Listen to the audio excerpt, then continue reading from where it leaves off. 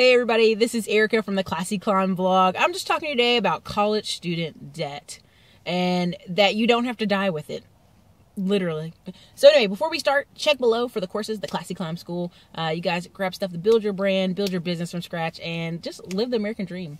Uh, check those out. So anyway, back to my point. I, I am seeing all over Facebook where people are like, I have 80,000 in student loan debt and I'm gonna die with it what? You gonna you gonna die with it? You gonna die with eighty thousand dollars of school loan debt? You don't have to die with this student loan debt. You you could like pay it off. You could like work extra jobs. You could do other stuff. I mean, there's countless stories of people who there's a great story on the guy, the t- uh, the college student who just graduated, and in ten months he paid off twenty three thousand dollars in debt.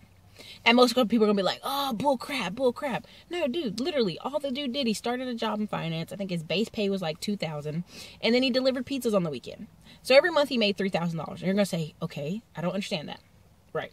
He made three thousand dollars, but he also lived with his parents, and they did not mind him staying for one year for free one year for free. So in between driving for the pizzas and his job, he made about three thousand three hundred, sometimes three thousand five hundred, and he paid off he pretty much just took one paycheck and just chunked it at the debt every single month for 10 months till he was free.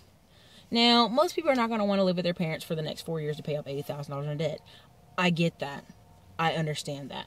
But we also can't be allowing people to go into $80,000 worth of school loan debt for uh, an art degree or for for humanities or for English or to be a teacher because if you're going to be a teacher, you're going to make about 35,000 a year it depends. If you're in a really small, lower income county, maybe 23, 25, 26 uh, thousand dollars a year.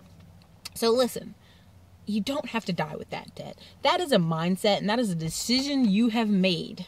If you're telling me as you look me in my eyes, Ericka, I'm gonna die with this debt what? What the? Who the hell to die with that kind of debt? Like, you ain't got to do that. Like, you can, you can, you know, figure out a plan. I mean, you might not like it. You know, you don't like Dave Ramsey. He's a little extreme, but we don't have to die with our debt. Like, that's a narrative that you're believing, and it's not true. I mean, it might take some sacrifice. It might take living with roommates. It might take going home. It might take you working jobs you did not want to work. Oh my gosh. I mean, so many people tell me, Ericka, I don't want to work that job. That's not what my degree is in. I'm sorry. I'm sorry there's no Greek literature degree that you got and you got a Greek literature job. I don't know where you some of these degrees go for. I really don't. I don't understand. So listen.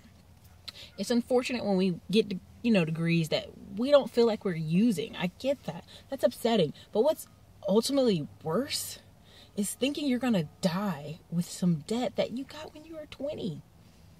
You don't have to do that. You don't have to live that narrative. And you can find a way out, but you first have to make a decision and decide you're not going to die with that debt.